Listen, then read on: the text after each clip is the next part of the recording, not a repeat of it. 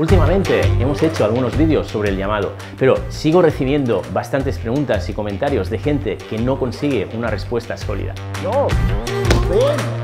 Hoy vamos a ver errores muy frecuentes que probablemente estás cometiendo y que impiden que tu perro acuda a tu llamada. Hola, soy Manuel de Canine Service, psicólogo coach y entrenador canino. Te doy la bienvenida a un nuevo episodio. ¡Vamos con el vídeo! Si tuviese que elegir un solo ejercicio de obediencia que mi perro hiciese perfecto, sin lugar a dudas elegiría la llamada o llamado y el control a distancia. Uno de los primeros motivos suele ser porque la comunicación a corta distancia no fluye o directamente no hay una buena comunicación a corta distancia. Fíjate, es muy importante que antes de optar a que tu perro, como esto ya lo hemos hecho en otros vídeos, antes de optar a que tu perro te haga caso eh, cuando está lejos, sepa atender tus peticiones y sepa comunicarse y, y atender tus demandas cuando está cerca de ti. Es muy importante que sepa ir de la correa sin tirar, es muy importante que cuando le das un comando como por ejemplo un sentado, un tumbado, lo obedezca y es muy importante que aunque haya otras distracciones, como pueden ser eh, esos pájaros que hay ahí al fondo, otro perro, un gato que pasa, el perro sepa atender a tu demanda cuando está cerca tuyo. Si no, no vas a conseguir que cuando él está lejos te haga caso. Yo, ven, yo, yo, ven, yo, sienta, sienta, yo, sienta, sienta, yo, sienta. Otro motivo súper frecuente es que el perro no reacciona a su nombre, ni siquiera sabe reaccionar a su nombre. Hay perros que prácticamente en la calle parece que es que se han olvidado de cómo se llaman. Entonces tienes que trabajar muy bien la respuesta al nombre. Ya hemos hablado en vídeos anteriores de cómo trabajarla, simplemente te hago un breve resumen. Al final es que haya una interacción, hay una interacción, que haya una asociación, exista una asociación entre un evento positivo y su nombre. Así que, por ejemplo, yo voy a llamar ahora a mi perro y le voy a hacer una entrega de algo que él quiere. Yo, ¡Ah, molve! De esta manera vamos asociando el nombre a algo positivo y la siguiente vez que yo lo llame por su nombre, él rápidamente se va a girar. Fíjate, por ejemplo, a ver si se despista Lola y llamaremos a Lola. Lola. ¡Ah! Muy bien, ella tiene clarísimo. Vamos a reforzar con una entrega, un premio. ¡Yop! ¡Ah! ¡Sube! Siguiente motivo, súper frecuente. Lo llamas y tu perro se cree que eres un palo o algo parecido. De verdad, tienes que hacer, aprender a hacer comedia, a llamarlo y motivarlo. Yo vine a jugarla, sí, ¡Ah, volvé, ¡Ah, bravo. Y de repente, cha, Lola, bien, bravo, muy buena. Y de repente, pues le das un premio, ¿vale? Que sea algo realmente divertido para el perro que lo llames. Porque si, si dices, Toby, ven, o yo qué sé, Taira, Taira, Taira, ven, ven, ven, y no te mueves, para eso para el perro es súper aburrido, ¿vale? Entonces motiva, aprende a motivar al perro. Fíjate, como simplemente con el movimiento, él, él, ya te va a seguir, ¿vale? Un poquito de teatro y sobre todo cuando llega, ¡wow! Muy bien, qué bien que lo has hecho, bravo, bravo, eso es, muy bien. ¡Bravo! Siguiente motivo que es muy frecuente y súper típico es que no eres consistente con tus acciones.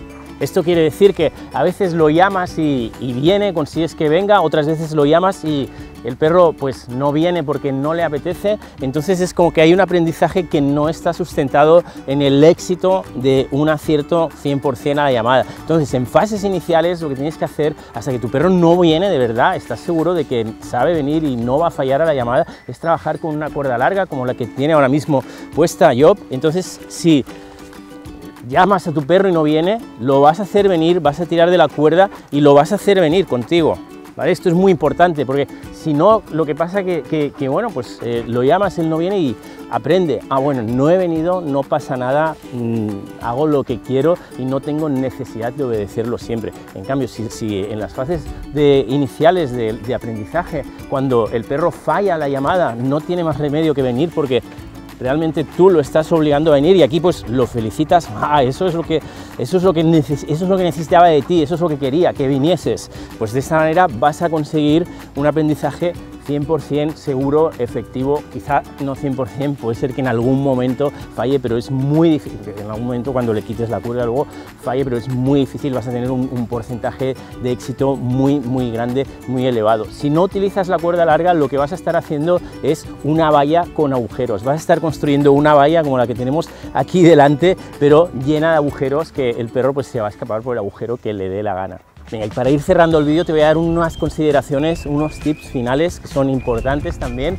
y es que empieces a trabajar de menos dificultad a más dificultad. Esto quiere decir que mmm, si tu perro no está obedeciendo a la llamada, no quieras irte a un parque donde está lleno de perros e intentar empezar a llamarlo y que te obedezca, sino que tienes que ir progresivamente incrementando el grado de dificultad de la situación en la que le estás llamando. Por ejemplo, aquí no tenemos eh, grandes distracciones, pues bueno, sería un buen momento, un buen sitio para empezar a trabajar la llamada. Poco a poco pues eh, nos vamos a ir acercando a diferentes distracciones, eh, vamos a ir a un sitio donde hayan perros jugando y nos vamos a quedar un poco retirados, vamos a empezar a llamar a nuestro perro para finalmente ir aumentando el criterio de dificultad y acabar eh, pues llamando a nuestro perro ante grandes dificultades. Esto es una cosa importante que quería decirte y la segunda es que tienes que normalizar el tema de que tu perro vaya suelto. Si tu perro no está yendo suelto porque se está escapando, no te hace caso y has decidido eh, pues no soltarlo, es muy probable que tenga una, sienta un gran deseo tenga una gran necesidad de eh, correr, de sentirse libre, de, pues bueno, de interaccionar con otros perros en libertad, de hacer cosas que no está pudiendo hacer y entonces va a ser muy difícil que si no normalizas el estar suelto eh, te haga caso. Con lo cual volvemos al punto inicial que es una cuerda larga y en situaciones eh, relativamente fáciles o sin distracciones empiezas a trabajar y poco a poco vas aumentando el criterio hasta normalizar el hecho de estar suelto y obedecer. Si quieres saber por qué algunas personas consiguen que sus perros les hagan caso y otras no, y descubrir los tres pilares para que tu perro sea obediente y feliz, o incluso reconducir sus problemas de comportamiento, puedes registrarte en el link que te dejo en la descripción de este vídeo para ver la clase oculta y exclusiva que no encontrarás en ningún otro lugar. Y para todos los que estáis interesados en recibir mi ayuda de manera presencial y os podéis desplazar a la provincia de Girona, abajo en la descripción os dejo el link de contacto. También te agradeceré mucho que compartas este vídeo para ayudarme a que el canal siga creciendo y yo pueda hacer más vídeos como este todas las semanas. Nos vemos la semana que viene. Hasta pronto.